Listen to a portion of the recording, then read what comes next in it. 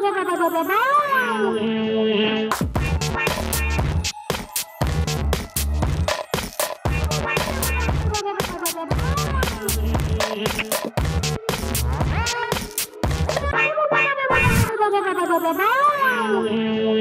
Հայկական հերոստաեթերի առաջին եւ միակ հաղորդաշարը, որն անդրադարձավ մեր հայ շոու բիզնեսի ամենից ամենաիրադարձություններին, տալով մեն ճշգրիտ եւ հավաստի բարձաբանումներ, դա իհարկե ամենից ամենան է։ Ողջույն, դուք շարունակում եք դիտել ամենից ամենաժամանցային աթիվին եւ այս պահին ձեր էկրաններին է ամենից ամենաասխային տասնյակը, որը վարում եմ ես Լիաննան։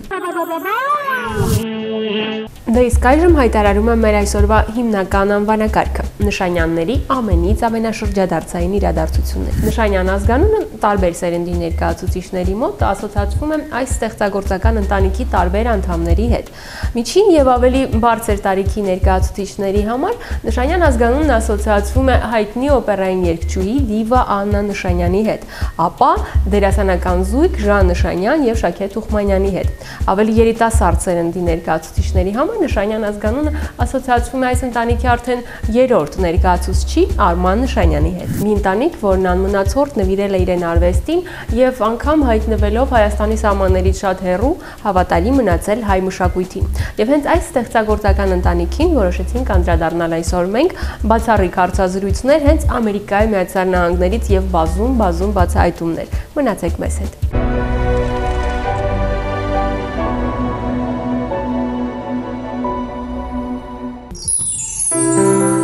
Միջին եւ ավակ սերնդի ներկայացուցիչները թերևս կհիշեն հայկական օպերայի դիվա Աննա Նշանյանին։ Զրնգուն հնչեղ ձայն, անթերի գեղեցիկ արտաքին եւ դերասանական շնոր։ Ահա այս ամենը շնորվել է նրան ի վերուստ։ Աննա Նշանյանը ծնվել է Եգիպտոսում 30-ական թվականներին եւ բնականաբար օպերային երգչուհու կարիերան սկսել է հենց այնտեղ։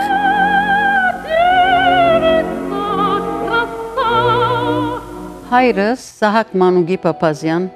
ծնվել է Արևմտյան Հայաստանի Դիկրանագերտ քաղաքում։ Մայրս Թակուի Պետրոսի Կազեզյան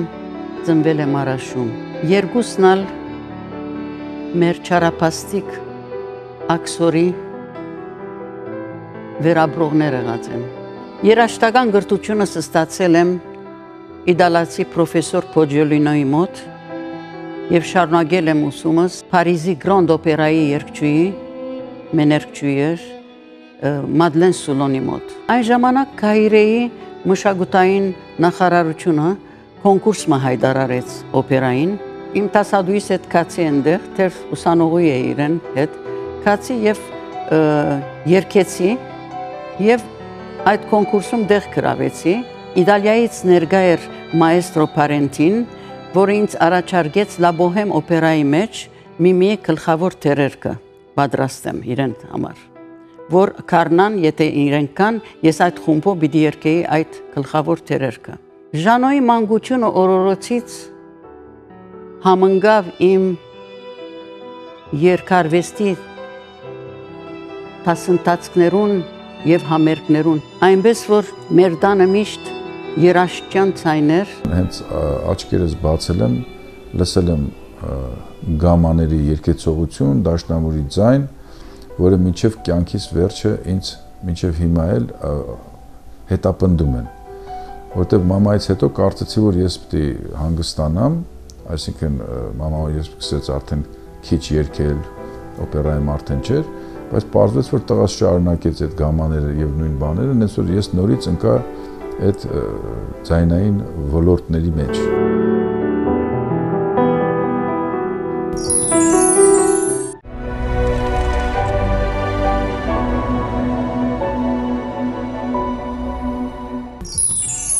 Օպերայի դիվա Աննա Նշանյանը ինքնակենսագրական գրքում իր ողջ ստեղծագործական ուղին բաժանում է 3 հիմնական փուլերի՝ Եգիպտոս, Հայաստան, Ամերիկայի Միացյալ Նահանգներ։ 50-ականների երկրորդ կեսին Աննա Նշանյանը Եգիպտոսից ընտանիքի հետ տեղափոխվում է Հայաստան եւ սկսվում է նրա ստեղծագործական ուղու նոր հայաստանյան փուլը։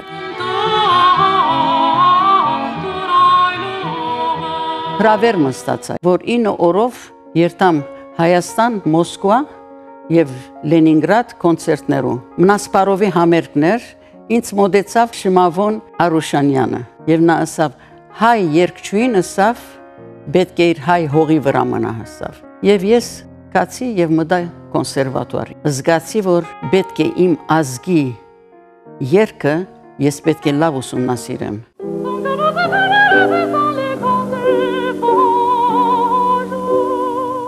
Ես այն ժամանակ հաճախում էի մանկապարտեզ, ռադիոկոմիտեի կողքի մանկապարտեզը։ 6 տարեկան Ժանոս երկու շաբաթում սորվեցավ արևելահայերեն եւ ազատ էր թողնում էր դունը գնում էր Ժանո ուրես աս Հայաստան է ես ազատության մեջ եմ գսեր էլ հերիք եղավ մենք հարևաններ էինք Աննա Նշանյանը ապրում էր 5-րդ հարկում կոմպոզիտորների տան մենք 6-րդ եւ մտերիմ էինք ընտանիքներով։ Աննան երգում էր իմ ռոմանսները, երգերը։ Նա լավ երգելու հետ միասին նա խաղում էր։ Իր մի երգը գար, որը ես երգում էի։ Մոլորվել եմ, մոլորվել եմ։ Այս երգը ես նույնիսկ հիմա Ամերիկայում դարբեր քաղաքներ երկած եմ եւ գփաժնեի ֆորգուկային ուզեին չեմ մոռանում երբեք անուշի խելագարության տեսարանը։ Նա բեմ էր գալիս ոտաբոբիկ։ Եվ գիտեք, դա շատ տպավորիչ էր։ Դահլիճը նրան ցնծությամբ ընդունում էր։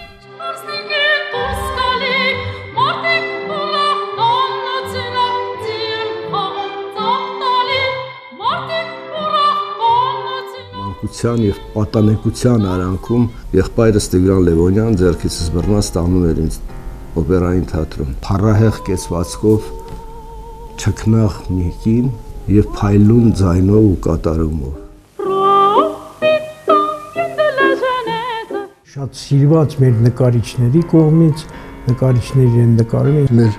օպերային թատրոնի պատմության մեջ այդ ամբողջ ժամանակաշրջանը երբ բեմում էր Աննա Նշանյանը, պիտի համարել երանելի ժամանակաշրջան, որտեղ շրջապատված էր իր նման ընտրյալներով։ Աննան մի արտակարգ մայր էր։ Այդպիսի սեր հանդեպ իր որդուն ես չեմ տեսել։ Նա կարող էր ամեն ինչի գնալ հանուն որդու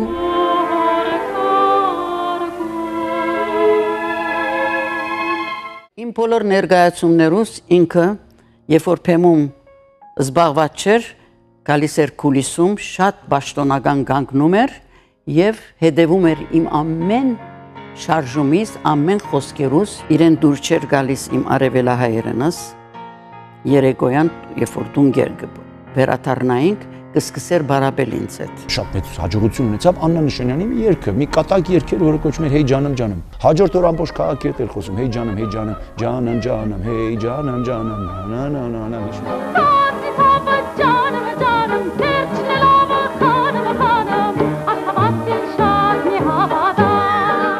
Նույնիսկ մի անգամ շատ կատակով ասեց տղաս ասեց ամբողջ կյանքում օպերա երգեցի, բայց արի ուտես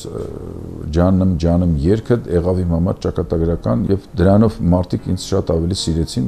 Շատ հումորով լի մարդ է Աննա Նշանյանը այնպիսի կատակներ էր անում, այնպիսի պատմություններ էր պատմում։ Նրանք մտերիմ էին շատ իմ մոր հետ, պատրաստում էին շատ համեղ ուտելիքներ, Իմ մորս փոխարինեց Աննա Նշանյանը, դարձավ իմ մայրը։ Իրենից շատ բան եմ սովորել։ Լավ գրում է, լավ այս տարիքում լավ ունի անալիտիկ մտածելակերպ։ Ես նույնիսկ զարմացել եմ, որ կարելի է այդքան չափված ձևած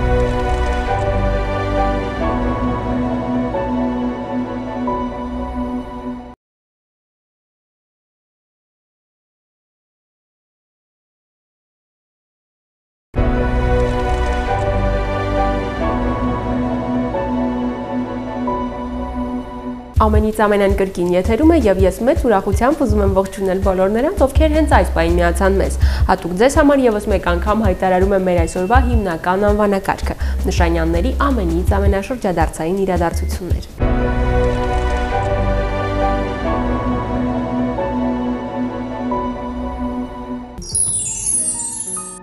1971 թվականն էր։ Աննա Նշանյանի միակ որդին Ժան Նշանյանը ընդունվում է Երևանի Պետական Թատերական ինստիտուտ։ Հայ մեծ վարպետ Վարդան Աճեմյանի կուրս։ Ճանաչելով Վարդան Աճեմյանին եւ նրա ընտանիքին դեռ մանկուց, կարելի ասել, որ Ժանը հենց այդ ժամանակ է որոշում դառնալ դերասան եւ դերասանական վարպետության բոլոր գաղտնիքներին ծանոթանալ վարպետից։ Ժան Նշանյանին հաջողվեց իրականացնել իր մանկության երազանքը։ 71 թվականից 76 թվականը սովորել եմ Թատերական ինստիտուտում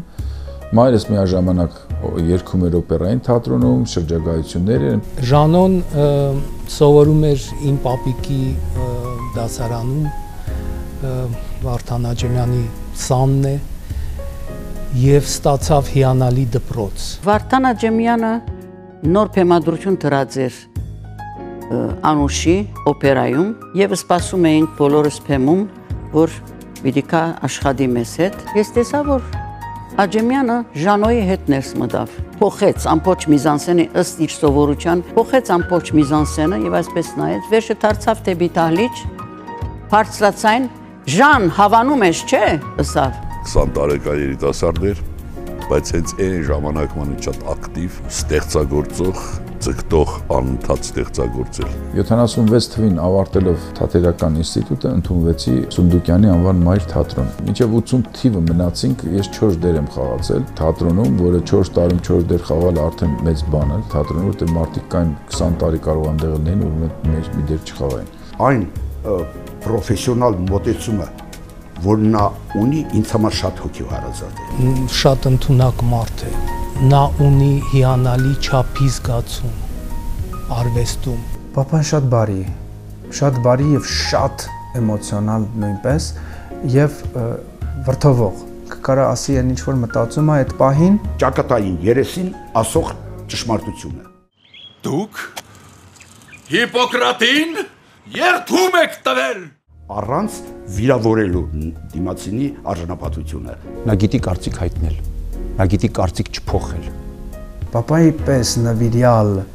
ընկերներին մարդ ես չեմ տեսել։ Կապ չունի, հարցեր չի տալիս, միայն պատրաստ է օգնելու։ Հավաստի դերասան, թաքնված լուրջ հումորով։ Լինում են վեճեր, ինչ որ անհամաձայնություններ եւ դրա կուլմինացիան ավարտվում է միշտ Ժանի ինչ որ մի մեջբերումով, հիշողությունների հետ կապված որևէ մի պատմությամբ, որը հումորային այսպես ամփոփում է տալիս եւ հասունացած արդեն կոնֆլիկտը շատ լավ ձևով անցնում ու մարում եմ։ Շատ համեստ է։ Այդ հատկությունը, որը հիմա մի փոքր պակասում է մեզանում։ Ինքը երբեք չի դավաճանի, երբեք չի փորձի մեկի գլխից թռնի միշտ շնորհակալ է այն մարդուն, որը իրան տեղա տալիս կամ լավություն է անում կամ ազնիվ է։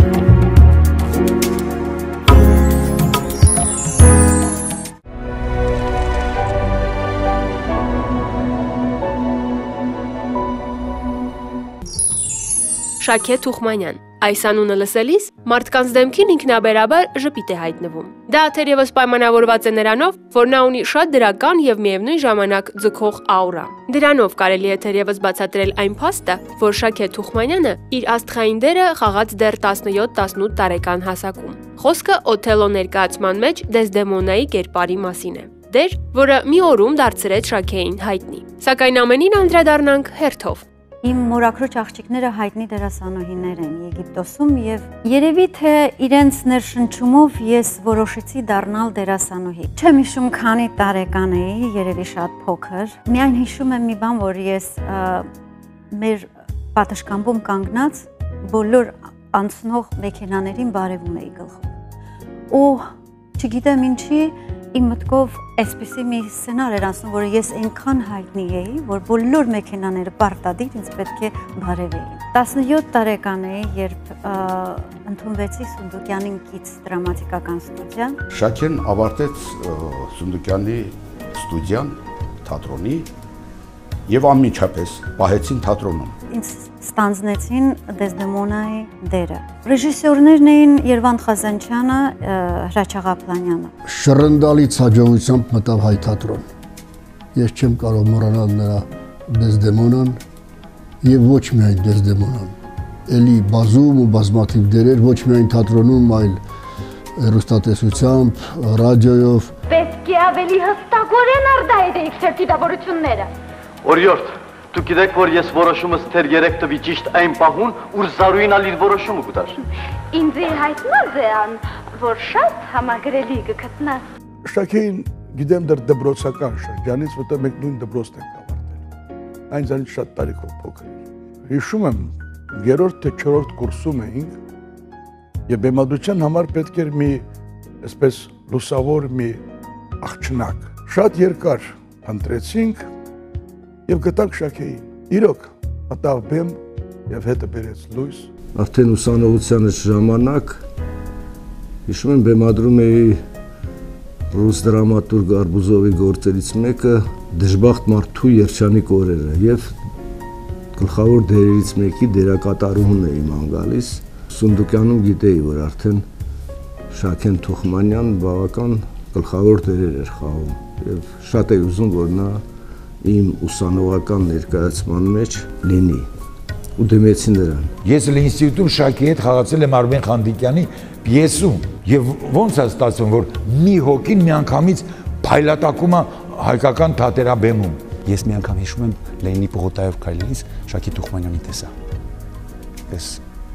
լուսավոր գեղեցկուհի կողքովդ որ անցնում է։ Հիանալի դերասանուհի է դերասանուհի, որը անցել է նույնպես Վարդան Աճեմյանի դպրոցը, խաղացել է նրա ներկայացումների մեջ, շփվել է մեծագույն մեր դերասանների հետ, նրան փոխանցվել են այդ բոլոր ավանդույթները հարուստ, որոնք կային։ Սունդուկյանի անվան թատրոնում ինձ համար նաև ճակատագրական եղավ, որ մեր ընտանիքը համալրվեց եւս մի դերասանուհով, որի անունն էր Շակ, Շաքե Թուխմանյան։ Միտքես չեր անցնել, որ Շաքեն, որուն այդքան սիրում էի փեմում, որ օրմը իմ որդուս դիգինը բիլ դառնա։ Երկար ժամանակ նա ինձ սիրահետում էր, փորձում էր իմ սիրտը շահեր, բայց այդպես էլ չէր ստացվում։ Ինչը տեղի ունեցավ Ստեփանակերտում։ Մենք սիրահարվեցինք, ամուսնացանք եւ ծնվեց մեր առաջին տղան եւ վերջինը իմ համար իմ տեսածից այն դերասանուհիներից է, որ ինքը իր բաներով է շարժվում, ներքին զգացմունքներով, ներքին նյութով եւ պարզապես գիտի, ստեղ ինչ պետք է անի, ինչու։ Հիշում եմ, երբ որ իմ հայրը նկարանում էր երկունք ֆիլմը, այնտեղ խաղաց Շակե Թուխմանյանը, նա շատ հետարքիր ձևով կարողացավ այդ կերպարը իրականացնել Դովլացյանի ֆիլմում։ Ինչ եղավ քեզ։ Ոչ Բայց նրա բուն կոչումը գրականությունն է, հավատացեք ինձ։ Ես նրա մանկուց գիտեմ։ Բեմադրում է Աստրովսկու կատաղի փողերը եւ Կարինե Սուքյասյանը եւ ինքը նույն դերի վրա էին։ Էնպես ստացվեց, որ անդադ Կարինեն էր կարդում, բայց մի օր ես ասացի Շակե, այսօր դու կարդա։ Սեղանի շուրջ կարդաց ու ինքան հետարքի իրեն։ Հետո ցավոք սրտի նա մեկնեց Շարոյի հետ Ամերիկա եւ այդ գործը կիսատ մնաց։ Ավաղ իրանք շատ շուտ գնացին այստեղից եւ ինքը երևի հիմա մեզ մոտ կլիներ ամենա հայտնի կինո դերասանուհին։ Սիրում է իր արվեստը, նվիրված մարդ է բոլորին, իր ընտանիքին, իր ամուսնույն։ Ինձ համար կա 3 կին, որ ինձնից ավելի շատ են վստահում։ Նրանցից մեկը Շակ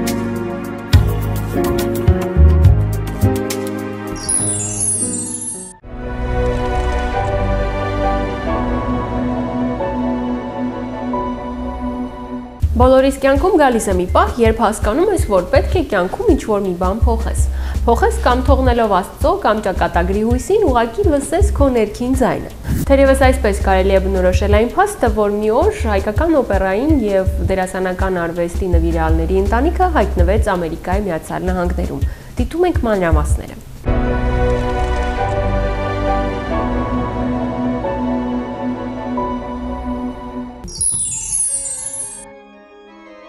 1980 թվական։ Աննա Նշանյանը փայլում է հայ օպերայի բեմում։ Ժան Նշանյանն ու Շաքե Թուխմանյանը Սունդուկյանի անվան ազգային ակադեմիական թատրոնի բեմում։ Ավելացել է եւս մեկ Նշանյան ազգանունը կրող փոքրիկ էակ՝ Ժանի եւ Շաքեի միակ որդի Արմանը։ Եվ ահա հենց այս ժամանակ ստացվում է այնպես, որ արվեստի նվիրալների ընտանիքը հայտնվում է Ամերիկայի Միացյալ Նահանգներում։ Աննա Նշանյանը իր ինքնակենսագրական գրքում նշում է այդ մասին իբրև իր կարիերայի նոր ամերիկյան փուլի սկիզբ։ Մամաս այդ ընթացքում ուրեմն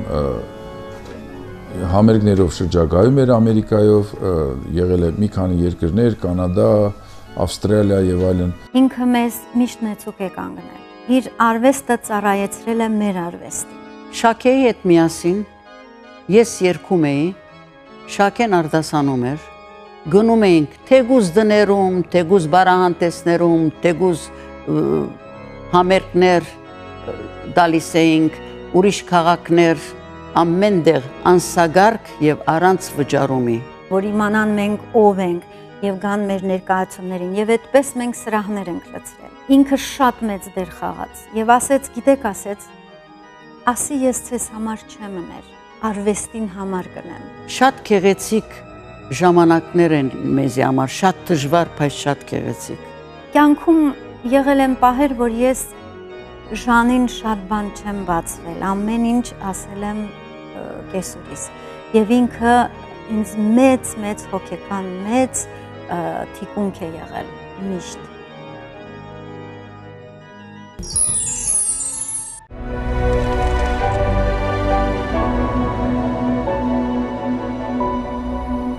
Ամերիկայի Միացյալ Նահանգներ, Լոս Անջելես, հայկական Սփյուռք։ Ահա այս միջավայրում հայտնվեցին հայկական մեծ վարպետ Վարդան Աճեմյանի դպրոցն անցած եւ հայ թատրոնի նկատմամբ մեծ կարոտով լծված երիտասարդ դերասաններ Ժան Նշանյանը եւ Շաքե Թուխմանյանը 80-ականների սկզբին։ Ինչը կարող էր լրացնել այդ բացը, այդ կարոտը, որը օր-օրի զարգանում եւ հանգիստ չէր թողնում թե Ժան Նշանյանին եւ թե Շաքե Թուխմանյանին։ Թերևս հայկական թատերախմբի հիմնումը։ Դիտում ենք մանրամասները։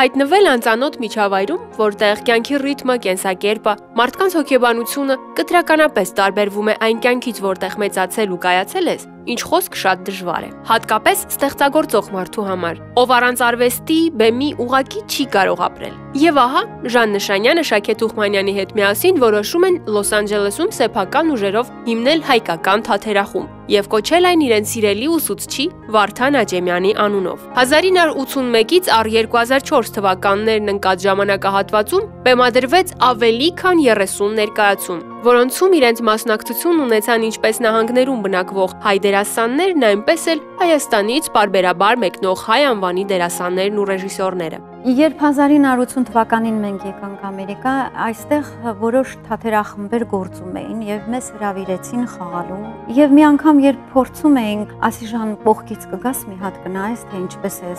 միզանսցենը դնում այս ռեժիսորը, եկա ու սկսեց բեմադրել Ժանը։ Ու ես տեսա իր մեջ այդ պոտենցիալը։ Եվ այդպես ստեղծվեց մեր թաթերախումբը։ 4 տարի հետո մենք ստեղծեցինք մեր թաթերախումբը։ Ժան Նշանյանի, Հարություն Ֆոդուլյանի եւ Շաքե Թուխմանյանի միասնականությամբ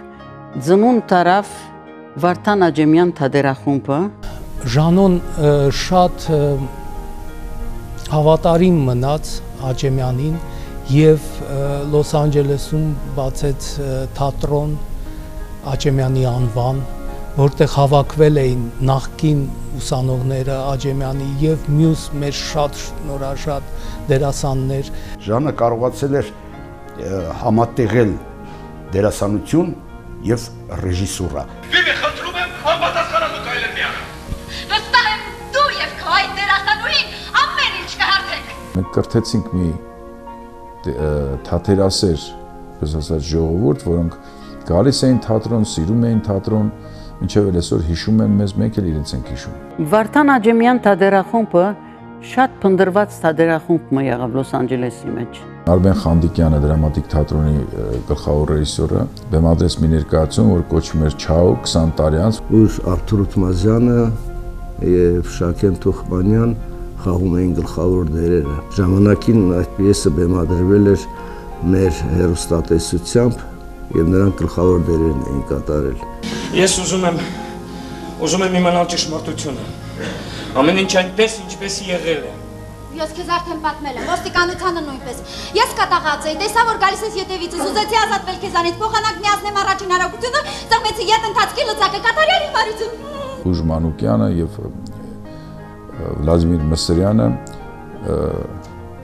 եկան Ամերիկա եւ մենք բեմադրեցինք նաեւ կայսր ներկայացումը Շանթի, որը հիմք դրեց մեր շատ մտերիմ ընկերության։ Բարդությունները շատ էին, բայց մենք կարծում եմ պատվով դուրս եկանք եւ Շաքեի հետ գոնե իմ տեսարանները ես համարում եմ ինձ համար ուղղակի գտնված տեսարաններ։ Ես ոչինչ տեսակացնուի։ Հա։ Բահել ուզես այդ նոր զենքը, որ շինես ինձի ագործիկ նոքել։ Ես ոչինչ տեսակացնուի։ Չարց մախնար, որ խլեմ ձգել այդ նոր զենքը, եւ այդ նույն զենքով թափել տղաչկեր բուրսը, որով դու տեսա։ Ես ոչինչ տեսակացնուի։ Հայաստանում Երվանդ Կոչարը միշտ խնդրում էր ինձանից, որ տղայիս տանիմ, որբեսի նկարե։ Օրմը հարցուցի, վարպետսի, այդքան քեղեցիկ տղակներ են գալիս էս մեր դները։ Ինչ եք ուզում ժանոյց, ինչ եք գտնում դրա մեջ։ Է, ռաբասանք։ Իշխանական թեմք ունի տղատ։ Երբ Ժանոն այստեղ Ինգաց Բերթի իշխանուին դրավ Լևոն Շանտի, այնտեղ խաղում էր Վասիլ իշխանը։ Այդ օրը երբ ես փեմում դեսա իրեն, շատ դխուր հիշադակով ես այսպես հիշեցի Երվանդ Կոչարին։ Հայտի հետ կլեսի կատեմ քեզ մեի Լինելով նուրբ արվեստագետներ Շաքեն եւ Ժանոն, նրանք հասկացան, որ կտրվելով այդ թատերական թողու բոհից Եթե ես մնամ այսպես անգործ անբան մի տարի կարող է խելագարվել։ Եվ այստեղից սկսվեց մեր ընտանեկան արդեն ընկերական շփումները։ Լսի, հերիք եղավ գիտես, վերջացու թե չէ։ Թե չէ ինչ, տղամարդկությունը ցույց կտայր, հա։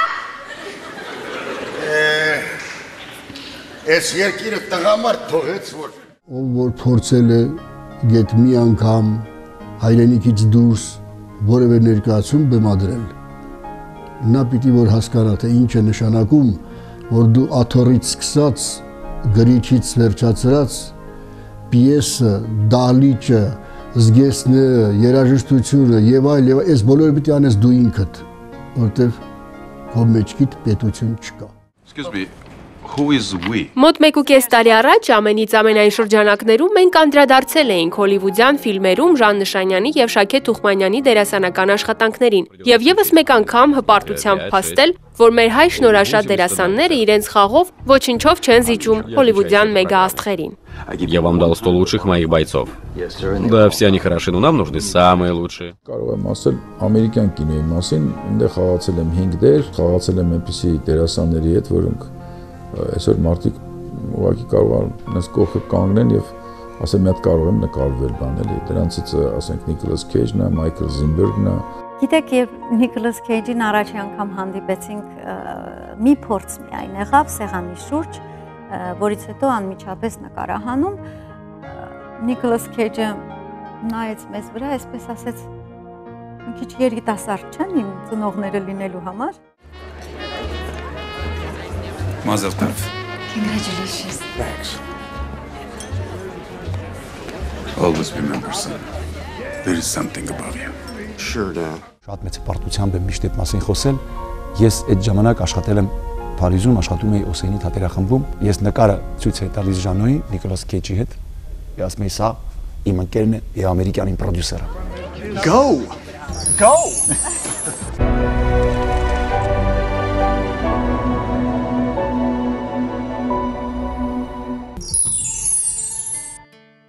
Ինչպես արդեն པարզ դարձավ, Վարդան Հաճեմյանի անվան հայ թատերախմբի մասին խոսելիս հնարավոր չէ նշել միայն Ժան Նշանյանի անունը։ Նրա կողքին, փորձերին, կազմակերպչական աշխատանքներին եւ իհարկե բեմում միշտ եղել է Շաքե Թուխմանյանը։ Սիրողքին, հրաշալի հավատարիմ մարդ, ընկեր եւ բարիս բուն իմաստով պրոֆեսիոնալ։ Շաքեն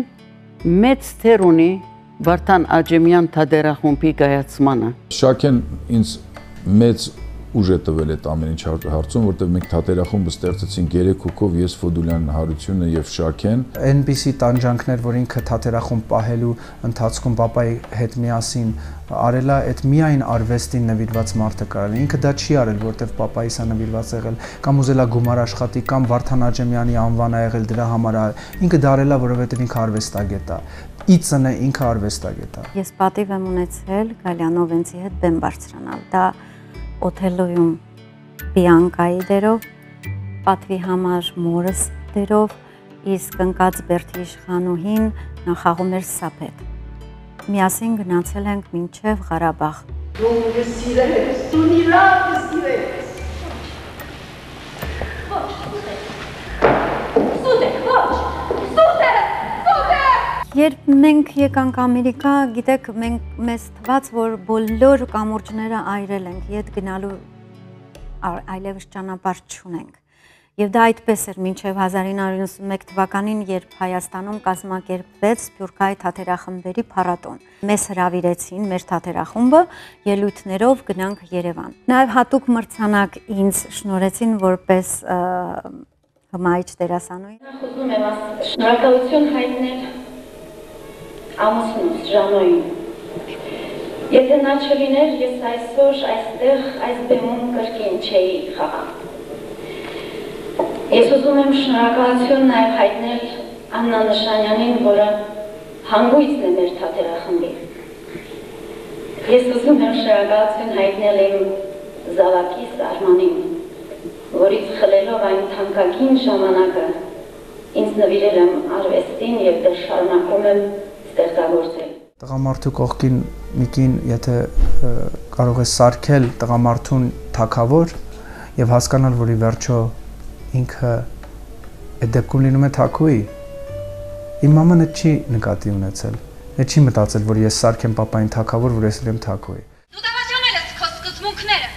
Խապվել այդ դերասանուհու։ Մեկ անգամ դավաճանել չի նշանակում խապվել։ Մի անգամ Երևանից վերադառնալուց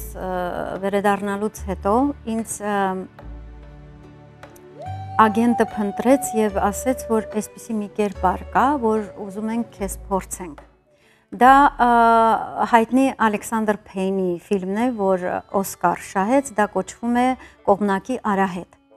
Sideways։ Չեք պատկերացնում դա ինչ ուրախություն էր ինձ համար Օսկարներ շահած ռեժիսորը գալիս է տուն դերասանուհուն տեսնելու։ Եւ երբ դուրը բացեցի, որպեսի դիմանվորեմ իրեն, երբ որ ես իրեն ասեցի «Hi», շուռ եկավ այդ casting director-ին ասեց ինքն է։ Ah, hello, Mrs. Buchanan. How are you? Thank you very much. Jack, uh, still here? Yes, yes. Այդ ֆիլմը արժանացել է 2 Golden Globe, 2 Oscar, 6 անձնական ֆիլմ եւ 7 դերասանական Օսկարների։ Նորից Շակե Թուխմանյանը սկսեց խաղալ կինոյում, ամերիկյան սերիալներում, բացի այդ ամերիկյան ֆիլմերում։ Շակեի խնդրանքով ասեմ, թե պահանջով ասեմ, ժառանգները հերոստա սերիալում ես խաղացի իր ամուսնու դերը եւ կարծում եմ հետաքրքիր էպիզոդ ստացել։ Գուժմանուկյանը տալիս է բեմի վրա այն ինչ որ դերասանը եւ դերասանուին պետք ունեն։ Վերջերս մեծ պատվով առանձնացնում եմ մի խոսք, որը ասվեց եւ որն ինձ համար հատկապես շոյի չէր։ Երբ ինձ ասացին, որ դու ինչ որ բանով նման ես Շաքեին Թուխմանյան, դա ոչ միայն որպես կին էր հաճելի ինձ լսել ականջիս համար շոյող, այլ նաեւ որպես դերասանուհի էր շատ ոգևորող։ Այդպիսի զգացմունքային զգացմունքային եւ էմոցիոնալ մարդ ես երևի չեմ հանդիպել իմ կյանքում։ Մենք ունեինք խամյակ։ Իհարկե իմ խամյակն էր դա։ Ու այդ խամյակը մի հետաքրքիր օր որոշեց սատկի։ Ես ու papan մտանք տուն, խամյակի փուճուրիկ մարմինը դիակը դրված էր շատ սիրուն զարդարված մի կոշիկի տուփի մեջ եւ մաման ծնգաչոք լացում էր կարծես իր երկրորդ զավակն էր մահացել։ Եվ երբ Ամերիկայում Ժանոն անընդհատ ասում էր, որ պետք է շուն վեր, շուն բերեն բան, ինքը ինքն էլ իր երազանքներ, որ շուն ունենար։ Ասի ոչ մի դեպքում չես բերի, որովհետև ես գիտեմ իմ բնավորությունը, ես կապվում եմ եւ հիվանդագին ձևով եմ կապում։ Եվ մի օր եկավ ես ես արթնացա, տեսա այսպես մի հատ գրկած բարուրի պես թողեց գետին, տեսնենք շուն ա բերել դալմացինց իսկ 3 տարի անց Արմանը մի հատ ուրիշ շուն ուրիշ դալմացինսկի 3 շաբաթական սա էլ կարիչնիվի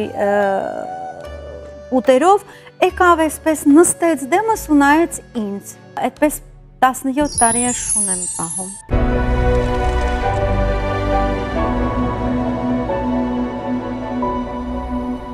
Եվս մեկ վարգույն Նշանյանների ընտանիքում հայտնվեց դեռ ինչ նահանգներ մեկնելը։ Խոսքը Ժան Նշանյանի եւ Շաքե Տուխմանյանի միակ որդու Արման Նշանյանի մասին է։ Նա դեռ շատ փոքր էր, 2-3 տարեկան, երբ նա ծնողների հետ հայտնվեց Ամերիկայի Միացյալ Նահանգներում։ Շատերի համոզմամբ Արմանը պետք է մեծանար արդեն ամերիկացու հոգեբանությամբ, սակայն նրա պարագայում այդպես չէ։ Իր տատիկից եւ ծնողներից նա ժառանգեց թերևս բոլոր շնորները, եւ մի օր Արման Նշանյանը եւս հասկացավ, որ իր ճակատագիրը արվեստն է։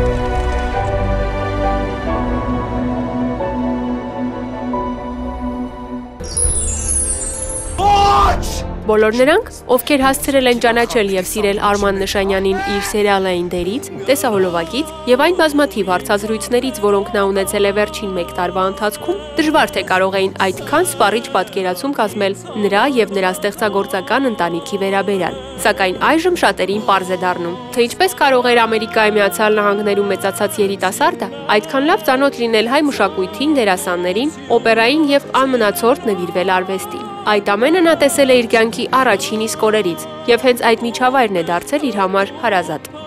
Ամենամոտիկ մարդը ինձ համար ընտանիքում դա իմ տատիկն է։ Ինքն է ինձ մեծացրել։ Ամերիկայում Ժանոյենց տունը թատրոնի վերածված էր։ Ամենուն թերերը կոծքի դեր։ Ուքար ներգա գլար այդտեղ գնստեր։ Օրմոնալ հայրը ըսավ ասոր ըսավ տնեմ ըսավ ներգայացումը դրավ Հարություն Կարամանուկյանը պետք է կար դրան առաջ կանգներ նվակեր եւ բզիկ երախանմա պետք է մուրար եւ ինքը շատ լավ զգաց իրեն որ թերմը դրվեցավ Գիտեք մեծ լումա ունի Արմանի հարցում Աննա Նշանյանը ամեն ուրբաթ գերտայինք սինեմա իրարու հետ ես օտոնգը կշեի ինքը կողքս նստած ուրիշ մարդ կդառնար այսպես գուկար տուրս կփանար ռամմեգը սերասանք դրամը գարներ ինձ մե գերտա ես պիտի կենամ հերթ կսեր տուն այստեղ գեսիր որտեղ գուզեք նստիլ ինչ կրնամ բերել ցեզի գուկար հիմա գնստեր եւ գնայր լավ եք զգում ցեզ ասանք այո արման մենք երբեմն փորձում ենք մեր ճիրականացած երազանքները թելադրել մեր երեխաներին։ Այդպես էլ եղավ Ժանը սպորտ շատ սիրող, ուզում էր որ տղանել սպորտի մեջ մտներ։ Ծնողը բնականաբար ուզում է երեխան անի այնինչ ինքն է գտնում ճիշտ։ Իսկ երեխան էլ գտնում է որ ես եկել եմ ձեր միջոցով, բայց չեմ եկել ձեզանից։ Թողեք ես իմ կյանքս ապրեմ ոնց ես եմ զգում։ Ու այդ խնդիրը ես ունեցել եմ papai հետ։ Լև Լևերը չեն սիրում, երբ որ իրենք կարծիք են հայտնում ու չեն լսում իրենց կարծիքին։ Ես դա ինձանով գիտեմ։ Եթե ես ասում եմ, «Էս սենց արա», եւ գիտեմ դա ճիշտ է, ու դու չլսես ինձ, ես կնեղվեմ։ Ես կհոտեմ կգնամ, բայց դա 5 րոպե հետո կգամ կանցած լրի։ 15-16 տարեկան երեխա էր, երբ որ մենք եկանք հետո աչքիս առաջ այդ տղեն հասունացավ, հասունացավ, զգացի այդ երեխան ունի բնավորություն ունի Մինչև ես ընդունվեցի առաջին թատերական ինստիտուտը, ես չէի հասկանում ինչի համար եմ ստեղծվել։ Մի օր էլ ասի Արման ջան,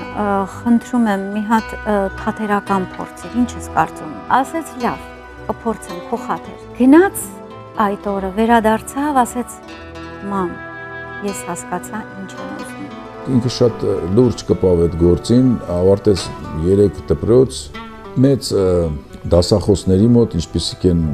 Ուտը Հագենը, Howard Fine, չգիտեմ, Էրիկ Մորիս, Strasberg եւ վերջապես ընդունվեց Actor Studio-ն, դերասանական ստուդիոն։ Երբ բեմադրեցին Քենգասի խաղում ենք Համլետ ներկայացում Արմանին ստանձնեց Ժանը Լայերտի դերը, ես խաղում եի Օֆելիա։ Նա սովորում էր ուրեմն թատերական ստուդիայում այստեղ եւ գալիս էր ամերիկյան հովերով, սկսվեց արդեն հայրերի եւ ворթիների այդ հավերժ պայքարը նա իրենն է պնդում ժանոնի դերից այդ տղա դու չես հասկանում ես ասում եմ ես փորձ ունեմ վերջ ինչ որ նեղացավ գնաց բայց գում եմ որ անես մի լավ բան կա այդ երեխու մեջ էլի պատկերացրեք շատ հետաքրքիր կերպարեր ստեղծել արմանը խաղացինք ներկայացումը լավ խաղաց պատճառ իրոժից հետ դե։ հա սնդուկի հետ միասին իս փողը կիսվենք իմ հոժիտը ոչ այն իմն է հոժիտը համլետինը հա Այդ լուսնոտինը։ Նա լուսնոտ չէ։ Լուսնոտ է, լուսնոտ։ Դա ինչ ամուսնություն կարող է լինել, հա? Երկու ցնդած կկուներ։ Դրանից հետո մենք խաղացինք ելի մի ներկայացում։ Տաթևիկ Ղափլանյան դեմադրեց մի ներկայացում եւ նվիրեց մեր վաղամերիկ որդուն։ Եվ տղայից դերը բեմում մարմնավորում էր Արմանը Նշանյան։ Մի տեսարան կար այդեղ, սիրո տեսարան էր, ռոմանտիկ կտոր էր։ Ես զգացի, որ տղան ունի շնորհք, ունի տաղան։ Եւ մի օր Արմանը եկավ տուն, ասեց՝ «Մամ, պատկերացրու շատ դիպրեսիոն վիճակում եմ», ասեց։ Ես ամբողջ ժամանակ այդ կերպարի մեջ եմ, ասեց, ինձ վրա շատ ճնշում է այդ վիճակը։ Մամ։ Դու գիշերները կնայես երկին։ Ու բացի իմ աստղից դու կունենաս շատ շատ աստղեր։ Նրանք բոլորը քոնը կլինեն։ Քո մտերիմները կդառնան։ Ուզում եմ խոսել իր առաջի ֆիլմի մասին, որը կոչվում է Palco and Hirsch։ Դա երկու ընկերների մասին է, որ ընկնում են շատ վատ վիճակի մեջ եւ թե ինչ է կատարվում իրենց հետ, դա արդեն ֆիլմում նկարագրվում է։ Այդտեղ երիտասարդ էր 21 տարեկան։ To make a quick easy 25 grand. Տատիկից ժառանգել եմ բզախնդրություն, ձայն եւ երաժշտականություն։ Պապայից ժառանգել եմ խելք եւ թաթերական հասկացողություն դեպի կերպար, դեպի դրություն։ Մամայից ժառանգել եմ զգացմունքային հասկացողություն։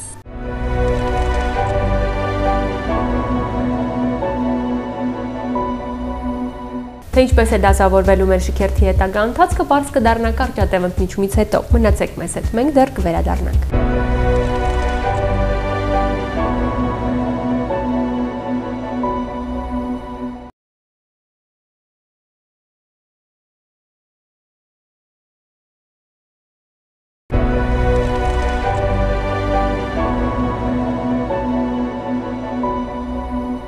Արման Նշանյան, ամերիկյան դերասանական մի քանի բարձրագույն հաստատություններ ավարտած,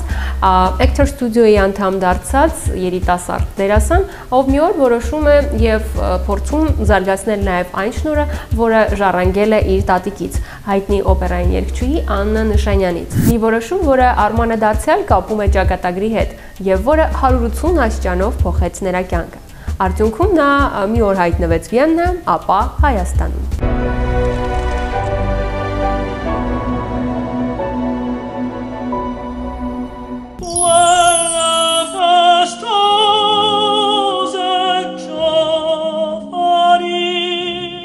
Արման Նշանյանը հարցազրույցներում բազմիցս է նշել, թե ինչպես նա մի օր որոշեց մի փոքր դադար տալ իր դերասանական կարիերային եւ նվաճել օպերային արվեստը եւս։ Սակայն ինչպես ծնվեց այդ որոշումը։ Դրա մասին նա դեռ չի հասցրել կիսվել հանրության հետ։ Ես հիշում եմ այդ որոշումը ես վերցրեցի եկեղեցում։ Ես կանգնած էի մի մարդու հետ, չգիտեմ ինչի սկսեց ինչ որ թեմա։ Եվ այդ մարդը ինձ ասաց, եթե դու ունես մի բան, որը դու գտնում ես, որ դա նվեր է եկել տիեզերքից կամ աստծուց քեզ կարևոր չի դա թանկարժեքական ոչ եթե դա տրվել է քեզ դու իրավունք չունես դա չօգտագործելու կամ գոնե մի քիչ ջանք թափելու որ դա իրականանա ու ես որոշեցի որ ես ճամփրուկներս հավաքեմ եւ գնամ Վիեննա ու սկսեցի օպերային արվեստով շատ դժվար տարիներ եմ ապրել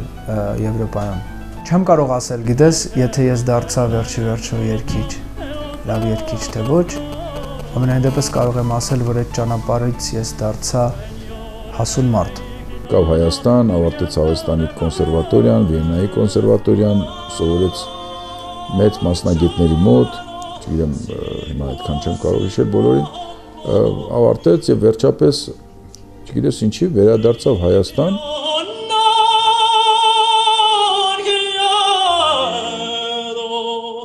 ինքը ասեց ես գնում եմ Երևան։ Գնա։ Գնամ մի հատ տեսնեմ դեռ ինչ կարող եմ անեմ։ Գնա։ Գնաց արեց։ Մտավ սերիալ։ Առաջին անգամ Արմանի նկարն եմ տեսել, երբ որ մենք կաստինգ էինք անում եղբայրներ սերիալի համար եւ ինձ համար շատ կարեւոր էր մանավանդ Միքայելին է, որովհետեւ Միքայելի կերպարը բավականին բարդ կերպար էր, պիտի խաղար անձի երկությամբ տարապող երիտասարդի դեր եւ դերասանը պիտի լիներ անպայման հետևողական դերասան, որովհետեւ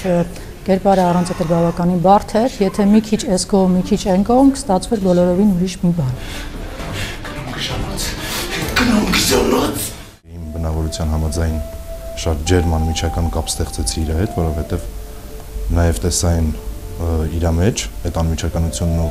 քաղաքակրթությունը, որը ինքը ստացել էր իր դրսում ապրելու շնորհիվ ու նաև երևի Հայաստանում, ու միանգամից պրոֆեսիոնալ մակարդակի վրա սկսեց մեր զրույցը։ Այն 11 ամիսների ընթացքում, որ ես աշխատեցի այդ հեռուստասերիալում, մի շարք դերասաններ կան, այդ թվում եւ Արմանը, որոնցից ստացա այդ իմպուլսները։ Կրթությունը են, ինֆորմացիաները են, բաները, որ ինքը ստացել էր ընդեղի դպրոցում, դրանք սկսեց իմ հետ շատ հարազատի պես կիսվել ու միասին մենք երբեք առանձին առանձին տեսարան չենք կառուցել։ Երկուսով միասին ենք կառուցել տեսարանը։ Ինքը չի կարողանում այսպես միանգամից տեքստը անգիրանի։ Ինչպես ինքն է պատմում, ասում է, այս տեքստը դնում եմ սեղանին,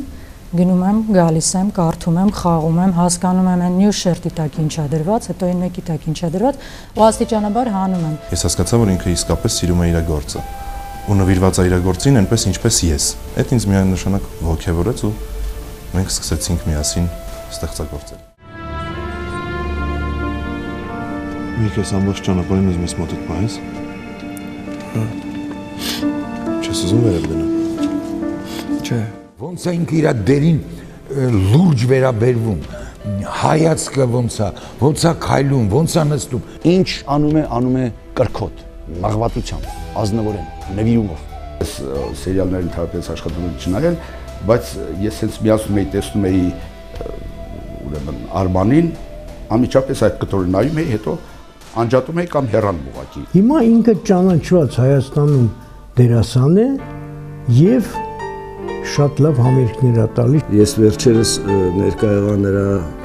մի գեղեցիկ համերգի, ուր նա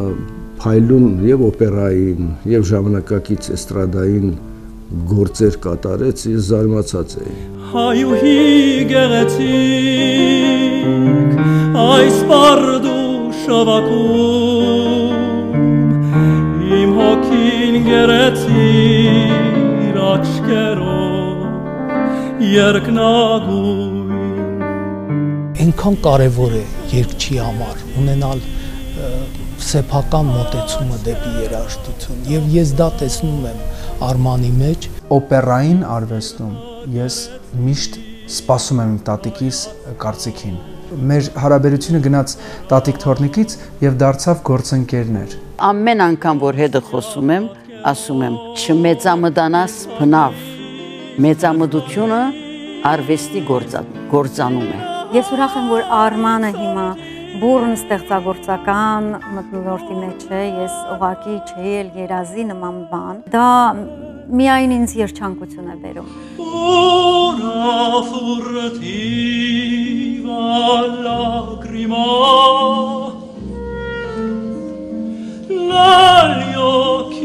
suoi spunta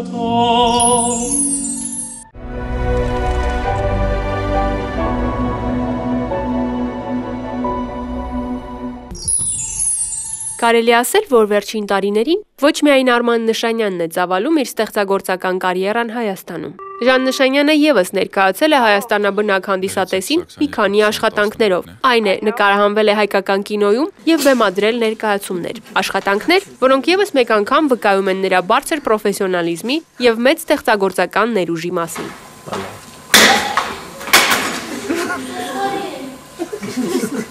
Ներեցեք մի հարց կարելի։ Իհարկե, շուտ կարծում եմ այո։ Ժանոն չէր կարող ապրել առանց Հայաստան։ Դերասանության իր կൂട്ടակած փորձը նա սկսեց վերել Հայաստան։ Հիմա ավելի շատ այստեղ ենք լինում, քան Ամերիկայում։ Նա գնաց Երևան եւ զարմանալիորեն նրա կարիքը այդ ժամանակ զգացվեց Այս վերջի տարիները շատ ավելի նկարվում եմ, քան խաղում եմ արդեն, որտեղ մոռացել եմ նաև Ամերիկայի իմ թատերա խումբը։ Շատ երկար տարիներ մենք Ժանոյի չհանդիպեցինք իրար։ Դե նա գնաց Ամերիկա, ես այստեղ եի եւ այլն եւ այլն։ Երբ որ հանդիպեցինք, ես ման էի գալիս հերոս եւ զարմանալիորեն, երբ որ Ժանոյին տեսա,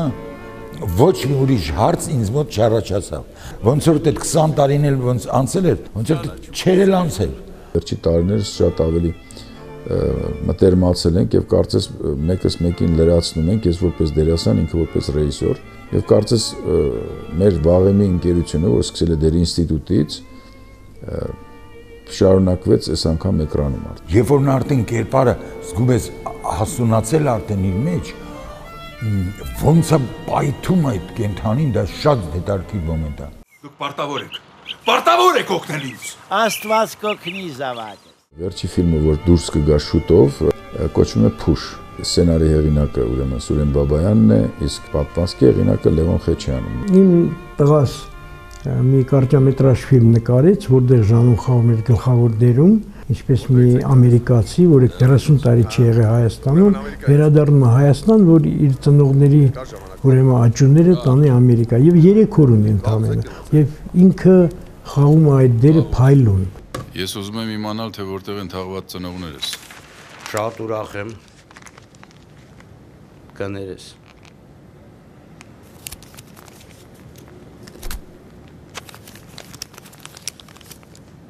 30 տարի բացակայել եմ։ Ամեն տարի 10 դոլար, հա։ Սրամտելու ոչ տեղն է, ոչ էլ ժամանակը։ Ժանոյի հետ աշխատելը դա մի մեծ ուրախություն է։ Մենք անցկացրեցինք մոտավորապես 2 տարի, ֆիլմի անունն է Սողանք, այն, որ ինքը ունի այդ թատրոնի, ասենք, էսթետիկան, դա շատ-շատ օգնում է աշխատանքի մեջ։ Ժանոյի հետ մենք այնքան էինք հղկել հասկանում իրար, որ արդեն նկարանման հրաապարակում գրեթե իրար բան չէինք ասում։ Վերջի արդեն մի քանի տարում մի քանի ներկայացումներ բեմադրեցի սում առաջինը Սունդուկյան թատրոնում անվերադարձ ապագան ինձ համար շատ հատկանշանական է հիշել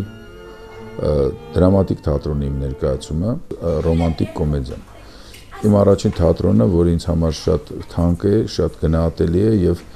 շատ պատվելի է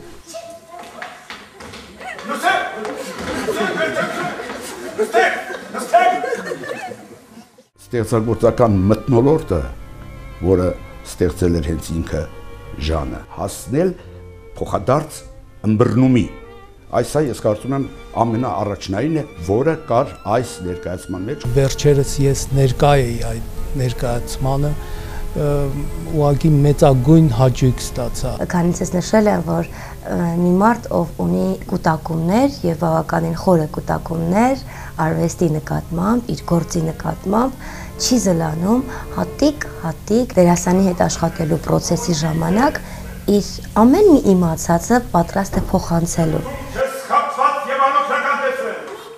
Այո, որովհետեւ չես կարողանում ստեղծագործել։ Ժանոն արդեն երկրորդ ներկայացումն է մեզ մոտ բեմադրում, ընթանում են փորձերը հիմա։ Դա աստված մի օր այնպես լինի, որ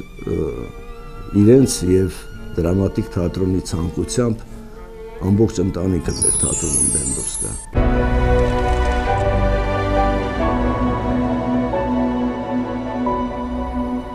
Ասել, որ Նշանյանների ընտանիքը նահանգներում բնակություն հաստատելու տարիներից ի վեր խզեց կապը Հայաստանի հետ, ճիշտ չի լինի։ Եվ մեր այսօրվա հաղորդումը թերևս ասվածից վառապացույցն է։ Սակայն կապը ավելի հաստատուն դարձավ այն պահից, երբ Արմանը որոշում կայացրեց, որ այլևս չի հեռանա հայրենիքից եւ իր դերասանի եւ օպերային երգչի կարիերան կծավալի հենց Հայաստանում։ Այսօր Արման Նշանյանի ծնողները տարվա որոշ մասը բնակվում են Հայաստանում եւ որոշակի ստեղծագործական ծրագրեր կապում հենց հայրենիքի հետ։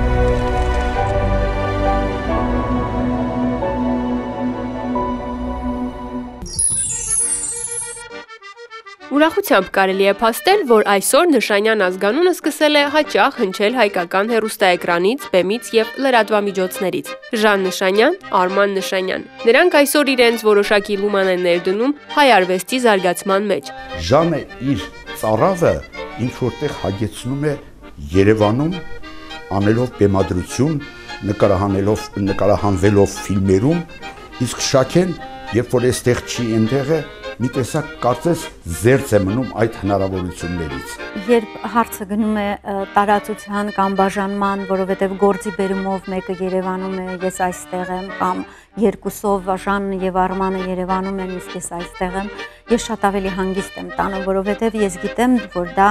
ծառայում են իրենք արվեստին։ Ժանը եւ Շաքեն ընկերներ չեն։ Ես եղբայր չունեմ, ես Ժանոին համարում եմ իմ եղբայրը։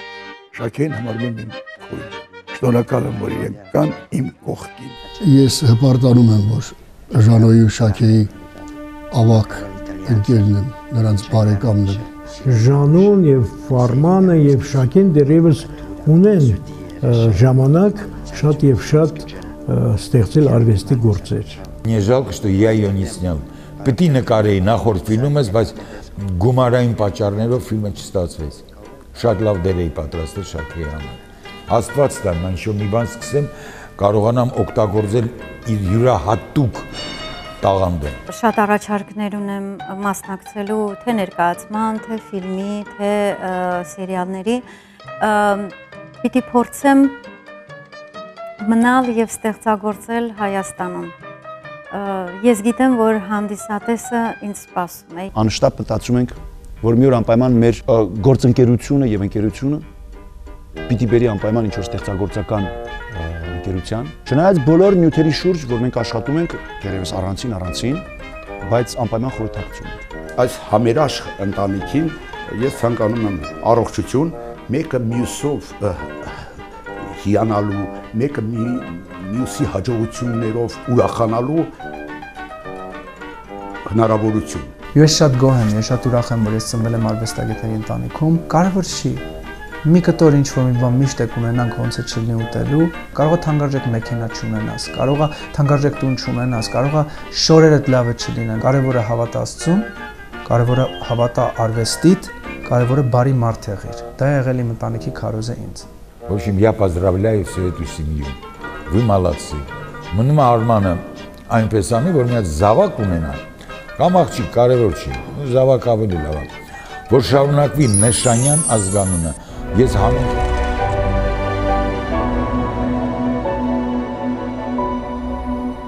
Եվս մեկ բացահայտումներով լի ամենից ամենաաստղային տասնյակ ներկայացրեցինք այսօր ձեր ուշադրությանը եւ այդ ամենին թերևս հավելեմ, որ այսօր հազվագյուտ ընտանիքներ, ստեղծագործական ընտանիքներ կարելի է գտնել, որոնք ապրում են արվեստով եւ այդ շնորհը փոխանցում սերնդե սերունդ։